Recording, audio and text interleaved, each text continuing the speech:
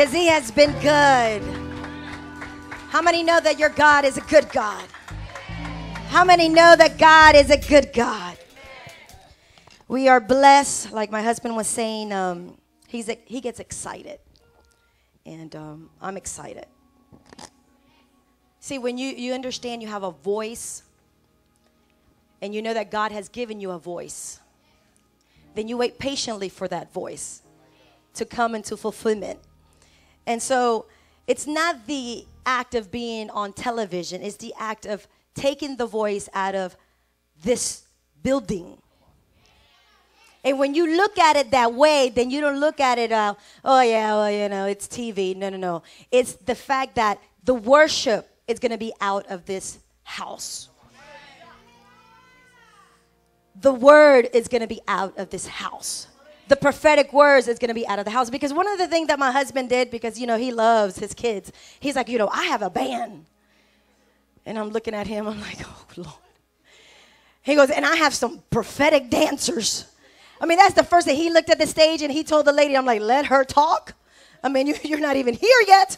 And you're telling them you have a band and you have some dancers. And she's like, you know what? We've never done that. That sounds like a good idea. So you have to understand that it's not about us, it's about us. And when you look at it that way, then you're going to understand that God is, has just been preparing an army. There are people that are going to be blessed with this prophetic songs, with the prophetic dancers, and going to say, Where is that church? And everything that God has been saying, then one way or the other, God will make sure that it comes to pass. So if the Kissimmee radio didn't want to have us, then God said, you know what? I'm going to expose you in a bigot atmosphere. And now no one is going to be able, not, not only is the word is going to come out, now the songs are going to come out. Now the dancers are going to come out. God has given us, he's given us double for our trouble. Isn't God good? I like it when God does it big because God is a big God.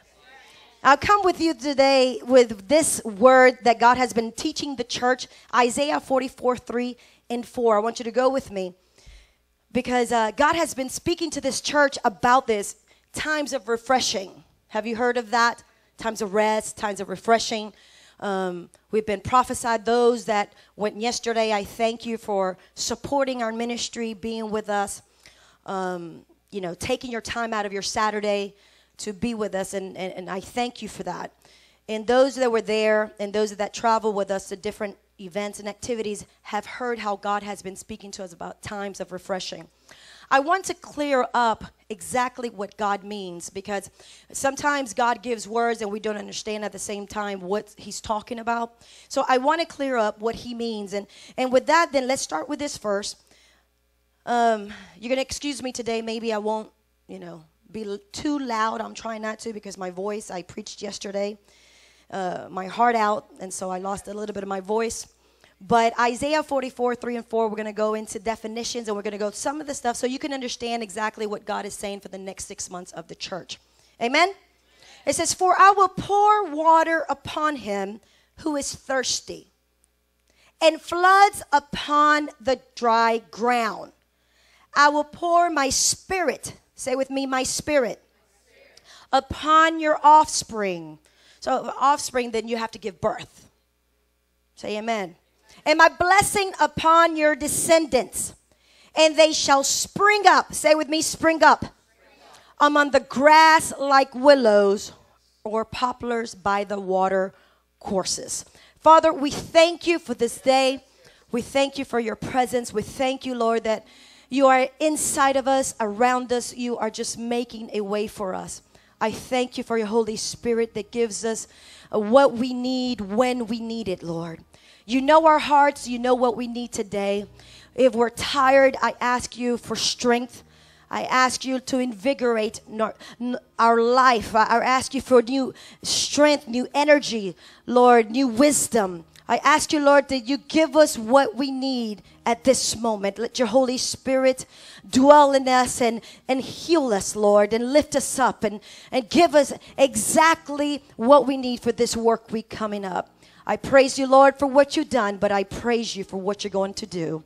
In Jesus' name, amen. You can be seated. When we speak about times of refreshing, you have to understand that a time is a separated season.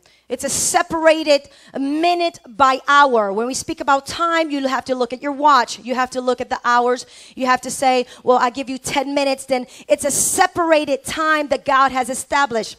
Um, churches lives in seasons and, and we live in times that God has declared over our life. That's why uh, it, there's a time for everything in our life. There's a time to cry, but there's a time to be joyous. And that's why you have to understand that uh, we have to understand and discern the times that you're living in.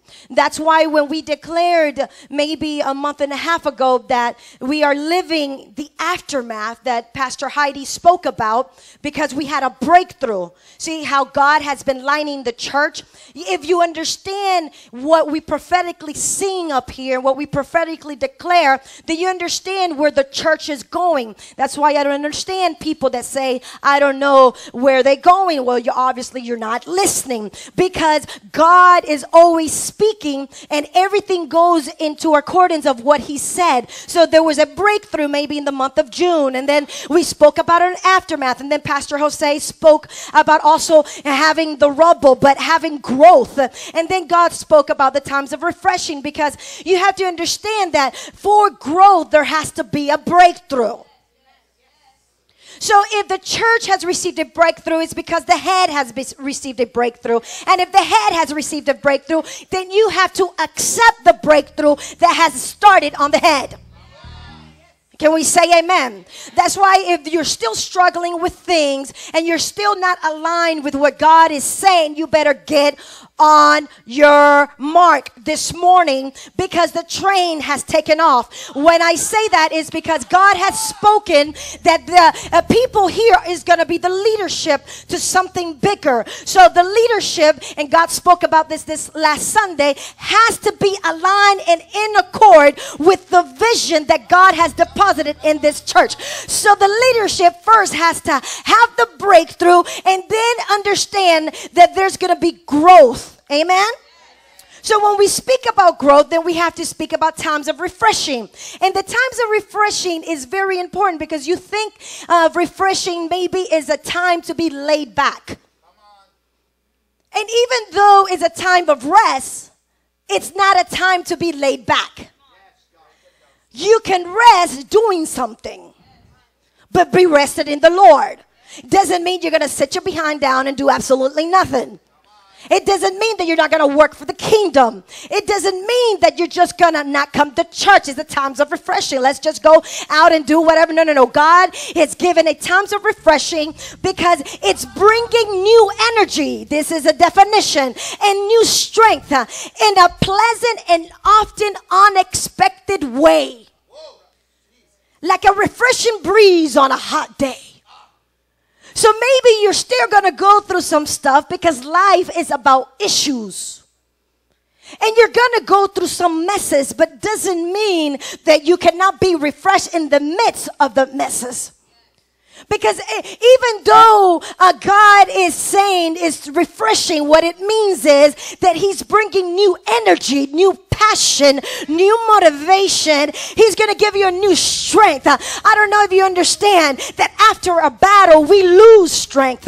We lose the passion. We lose the motivation. We lose the dedication because the battle wears you out. The battle is there and you're trying to struggle. So there's an internal struggle inside of you that is manifested on the outside. So you begin to lose the strength that you acquired along the way. So, times of refreshing is a season. God spoke about six months. Uh, I would understand if you and me in this six months would be appreciated with the time. See, it's not every day that God gives a church a season of refreshing. Some churches don't ever get that. Some people never get that. But aren't you glad that God said, You guys been through a rough battle? You guys been through cave. You guys been through depression. You guys been through stuff. And now I give you six months not to sit back and forget what I've said, but to sit back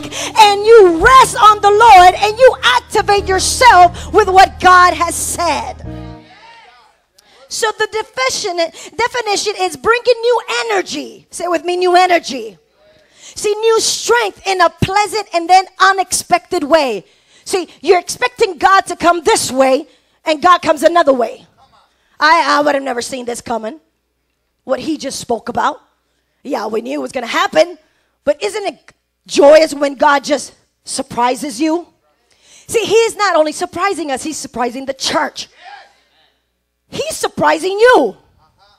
He's saying, You better get it together. Because I'm trying to do something with Generation of Faith.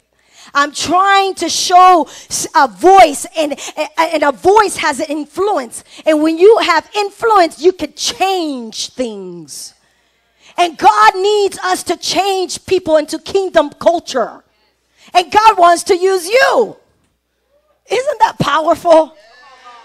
So he says, I need you to prepare these six months to refresh yourself, to renew yourself, to receive new passion, to receive new strength. Because what's going to happen next year is that you're going to need that new passion, the new strength, so you can be able to work this thing out. Amen. So refreshing is very important. That's why he says, I will pour water upon him who is thirsty. So you have to understand that the refreshing has everything to do with God himself. You have to go to him to receive a refreshing season. You have to go to the Father. See, it's not time to sit back and forget about God.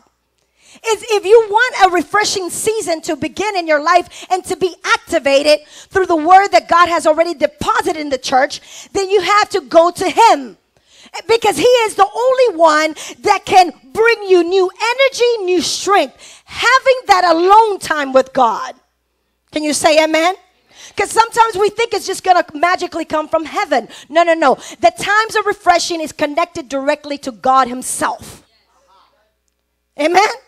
So when we speak about refresh uh, and we go into other definitions, I want you to understand what, what this says. It says to revive with, as if with rest, food, or drink. You give new vigor or spirit. Some of, some of us need new spirit new vigor, new energy. It says to give new freshness or brightness. It means to restore. Six months to restore you. I repeat, I need the piano going. To restore you. Do you understand? So that means there's things in our life that has knocked us down. There's things in our life that has made us uh, not want to do things like we wanted to before. Not come to church not get involved. Uh, i don't i want to do my thing. God is saying i'm giving you six months to get yourself together. You know that he gave elijah in the cave. I spoke about this six weeks. He's giving us six months. Six weeks but he's given us six months.